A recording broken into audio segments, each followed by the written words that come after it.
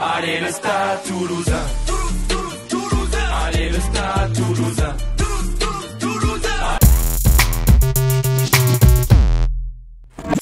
So it's been another fairly busy week for rugby. It was the week in which Bill Beaumont was confirmed as our new God King Overlord once again. It was the week in which World Rugby declared it Wingers Week. It got me thinking, which wingers do you think will be best in self-isolation?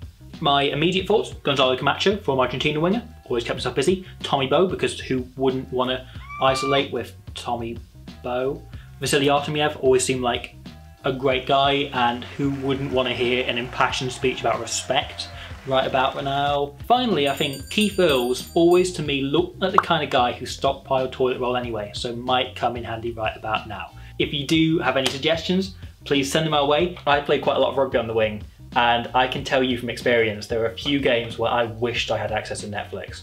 However, one community that has very much found something to do was that of Barnes Rugby Club, who this weekend raised an absolutely staggering £117,000 for the NHS in memory of late club legend Gary Garrett. Over the course of a day, they were going to lift 1 million kgs between members of the club, the community, the team. And it's safe to say they absolutely smashed this. So, in order to tell me more, I was joined by Gary Sunjack, by Adam Libby, both from the club, and then also friend of Barnes Rugby Club, England, Saracens, and Lions hooker, Jamie George. I think the obvious question, and we just touched on it there, is how are we all doing now? How are our arms and backs after that weekend? I was I was meant to move house yesterday, and I physically couldn't get out of bed till 4 p.m. Um, so yeah, and then I, I mean I went to try and go to the toilet, and it took me about five minutes to just get out of bed, and then yeah, it was one of the most painful experiences of my life, and that was I mean my my puny 17,000 compared to other lads. Two lads in the squad managed to do over 50,000, which, I mean, God They knows how they're feeling today. So 17,000. How much did we have around? We'll work up to Jamie, but how much do we have then? Oh, yeah, Um, well, to be honest, I was pretty much strapped to the computer and the the phone all day, um, trying to organise it and being repository for stupid questions and trying to talk old people through it and Instagram and stuff like that. So I think I only did about four thousand. Um, but looking at the state of some boys who are texting in saying like literally can't move, I'm like, oh, I'm fairly glad, fairly glad actually. it's fine. You were the glue. You held the whole thing together. That's fine. Couldn't have done it without you. Uh, and then Yeah, exactly. finally, I think the most impressive figure. Well, no, I mean, I didn't lift as much as Jack um, accumulatively. I did um, twelve thousand six hundred in an hour. We got pretty much the entire England squad on the on like a Zoom call. What was the final figure, Jack? It was like nearly three hundred thousand kgs. Two nine eight There you go. thousand. Wow. Um, yeah, so that was it. That was in the hour.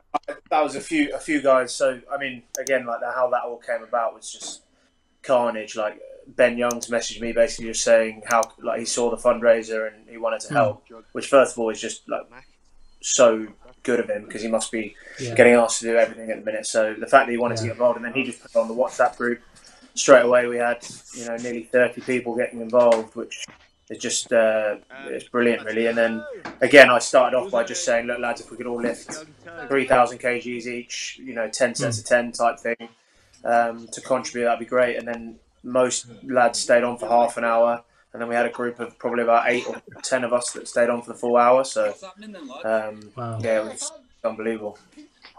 And then you had figures from all over the world as well. You had the Stuart Hogg, you had players that retired, Jonny Wilkinson, etc., all joining as well. You had all of the support flooding in, kind of from nowhere. Kind of it all really took off in those days leading up to it as well. Just amazing, yeah. So, it, you know, the total started way before, you know, we, we even we even got going as a, as a team. So, um, so, yeah, it's incredible. Absolutely incredible, yeah.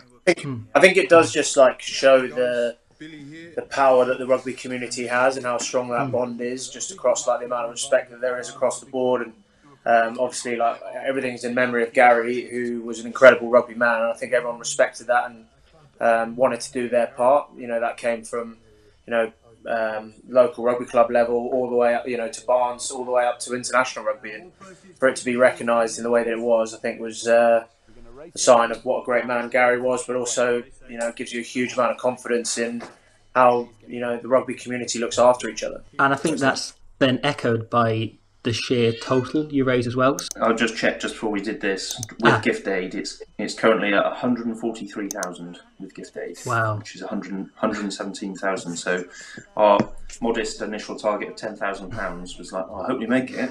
Um,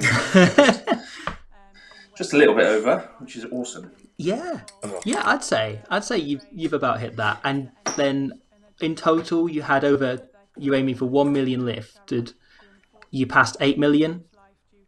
Um, well, we're still actually getting some in. So conservatively, I think 8 million is probably um, about right. Libs can probably um, confirm this, but I think we already we hit the a million mark about 11:30 a.m. Do we have a clear winner? Do we have someone who's clearly in the lead, has lifted the most? Then We do, yeah. Um, his name's Greg Davis with 51,000 something, um, Wow. which is insane.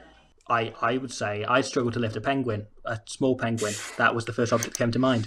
Um, do you have any plans then to do anything beyond that? Anything else to raise more going forward? It's almost been a, a catastrophic success um, Hmm. that we just want to capitalise, and everyone's on a bit of a high. So we want to make sure that we keep all this good faith in the community, and it's really captivated the imagination because it's a great man um, and a great cause. It really showed humanity and rugby at its best, I think. Yeah, Yeah. fantastic. And just one final question before we, I won't keep it much longer. I wondered what kind of text do you send in the morning when your mate's playing in a World Cup final? What did I say? I think it was. I was like, Did I check? yeah, go check. Yeah, yeah. He said before the New Zealand game, he said, "Good luck to you guys, smash it."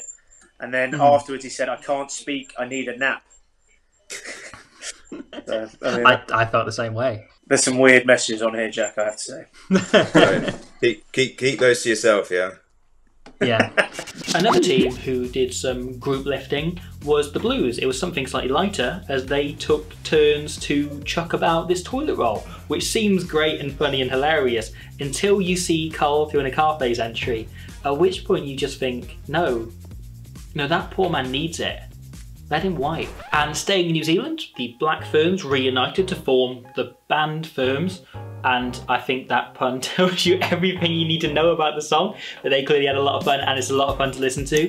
And another man in New Zealand, Dan Carter, proved he can do literally everything by starting his own chat show and bringing in as a guest Bryan Habana, who for, for some reason is still wearing that Baymax outfit from Big Hero 6. He's still doing it. He's still he's still at large. That's still going on. And Dan Carter now does the chat show. Rugby's gone mad. Now it's time to move from one legendary back row captain to another with the sad retirement of one Mamuka Gorgodze, possibly Georgia's all-time greatest player.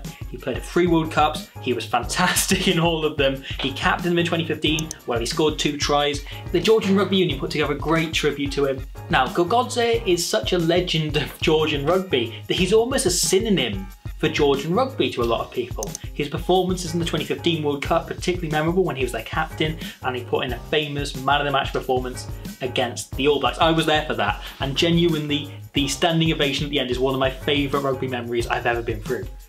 He was an absolute legend and hero of rugby and we missed not just in Georgia but across the world. But finally, before we go, before I leave you to your own Wingers Week, if you, much like Answer Hargreaves here, want to show off your skills, please use the hashtag Rugby's Got Talent. And otherwise, I'll see you next week for the next The Feed.